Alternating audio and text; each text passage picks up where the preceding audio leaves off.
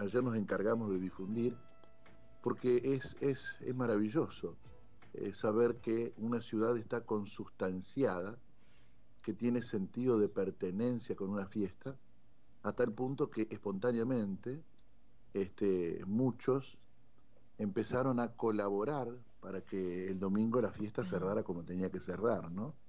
Desde acarrear pales, desde llevar brosa, incluso me decía los insuperables, que creo que son un grupo de, cocina, ¿no? Sí, sí, y los ganadores.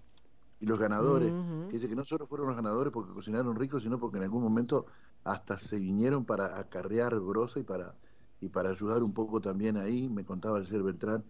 Y entonces yo después le decía, qué bueno debe ser ser dirigente político de una ciudad en la que vos haces una organización y el día en que la ciudad podría haberse quedado cruzada de mano viendo que hacían los funcionarios para hacerle la fiesta, se autogestionó la fiesta. Claro. Porque esto es lo que esto es lo que habla de que Crespo está enamorado de su fiesta. Y entonces eh, al, enamoramiento hay que mantenerlo y sostenerlo, ¿no?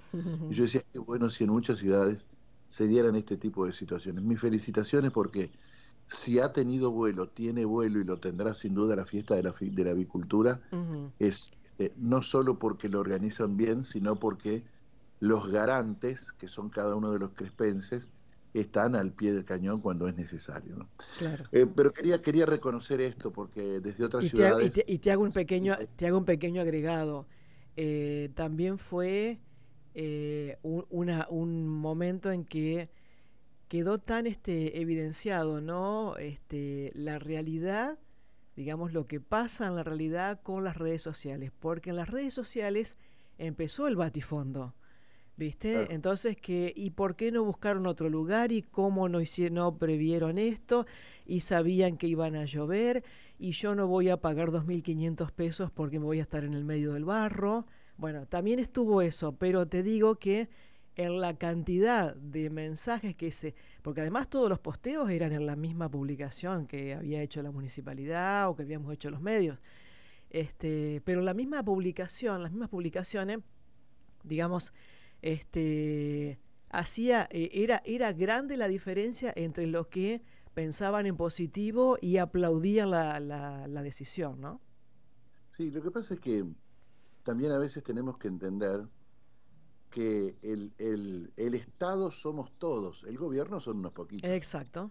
y este esto es, la fiesta de la avicultura es una cuestión de Estado, más que una cuestión de gobierno. Podrán venir todos los gobiernos que podrán venir, pero ya todos los que se presenten para ser intendentes o intendentas y ganen, saben que eh, la fiesta de la avicultura es una cuestión de Estado que trasciende a los poquitos que puedan ser de un gobierno. Exacto. este, pero mi reconocimiento, porque incluso quiere decir que la autogestión que hicieron la mayoría de los crespenses fue por encima de algún pesimismo este, que andaba dando vueltas. Que estaba, que estaba también, claro, claro, exacto. Eh, te quiero contar que ayer recibí de parte de, tengo por ahí la posibilidad de tener relación con gente que está en cuestión economista más que más que contadores, economistas, es decir, los que estudian pormenorizadamente las cuestiones macro o de países o mundiales. Y ayer me sorprendió ver esto que tengo aquí frente a mis ojos. La inflación de octubre del 22, Mónica, fue del 6,3%, ni por asomo la más alta del, del, país. Hemos tenido de más de 7. Recuerden que en algunos meses anteriores tuvimos más de 7% de interés. La de octubre fue del 6,22. El tema es que en el acumulado anual, es decir, de octubre del año pasado a octubre de este año, es del 88%. Esto implica que nos quedan dos meses para medir, noviembre y diciembre. Con que noviembre y diciembre sean del 6% cada uno, suman un 12% entre los dos, que sumado al anual que ya tenemos del 88, nos va a dar 100. Donde sume un poquito más de 6, superamos el 100% de inflación. Esto es terrible. Acumularon un alza del 76,6% en lo que va del 2002, el 88% interanual. alimentos creció un 6,2%, en octubre del 22, perdón, eh, una inflación eh, que el alimento creció un 6,2%, y los últimos dos datos que me parece que son interesantes. El REM es el relevamiento de expectativas de mercado. Por ahí muchos de ustedes este, nos encontramos, cuando vemos algunos informes económicos, con la sigla REM, R-E-M, que es relevamiento de expectativas de mercado. ¿De qué se trata esto? Esto es una encuesta que hace el Banco Central de la República Argentina de varios indicadores macroeconómicos entre las consultoras y publica mensualmente esa encuesta que hace. El REM es quien está esperando un piso, un piso del 100% para la, este, expectativa inflacionaria del 2022. Que digamos que en el año 2022 en la Argentina tuvimos un 100% de inflación. Pero este no es el dato con el que quiero cerrar el editorial de hoy.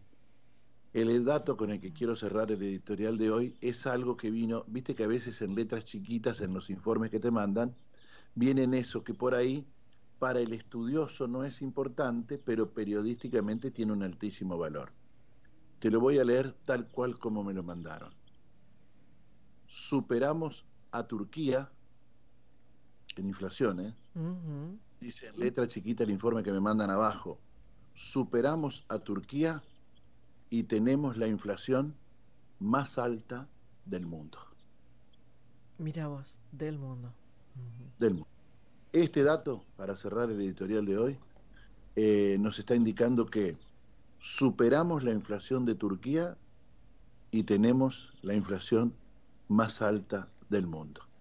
Esto lo digo porque ayer me mandan un TikTok de estos que, que, son, intentan ser graciosos, y seguramente lo son, porque uno también algunas cosas eh, tampoco podemos hacer de todo un tango.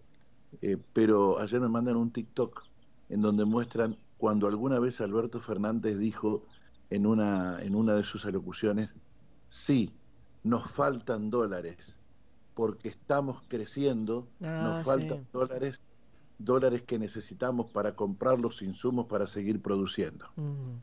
Eh, yo me pregunto, y dejo esta pregunta para, como deber para nuestros oyentes, eh, si Dios nos diera 50 años más de vida, con la consigna que dentro de 50 años le expliquemos a los argentinos de esa época qué fue lo que pasó aquí. ¿qué, le diríamos?